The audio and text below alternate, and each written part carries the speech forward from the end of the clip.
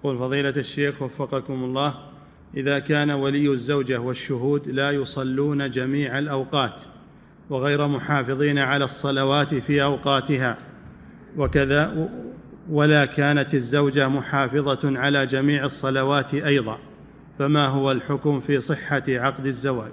غير صحيح. الله جل وعلا يقول في الشهود الرسول صلى الله عليه وسلم يقول في الشهود وأشهدوا ذوي عدل. وشاهدي عدل شاهدي عدل والذي لا يصلي هذا ليس عدلا ولا تقبل شهادته. وكذلك الزوج إذا كان لا يصلي فهو كافر كافر لا يزوج من مسلم. والمرأة إذا كانت لا تصلي لا تزوج من مسلم. نعم.